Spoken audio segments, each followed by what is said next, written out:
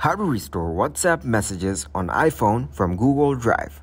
Hello everyone. In this video, I will show you how to restore WhatsApp messages on iPhone from Google Drive.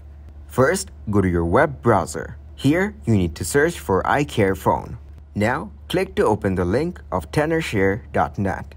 This will redirect you to this page. You can download this app for WhatsApp to restore messages. Click on Free Download to proceed further. Once it is done, click to open the app. Once you're in, you need to connect your phone with a USB cable.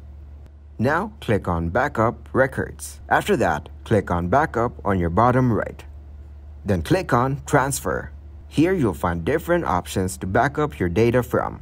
You need to select the option from Google Drive. Then click on Backup Now to proceed. The local backup will be created successfully. Go ahead and restore it to the iPhone. You'll see that the WhatsApp chats have been restored to the iPhone from Google Drive. Thank you guys for watching this video. Hope you got some value. Make sure to like this video and subscribe to the channel to get notified for new videos. See you in the next one.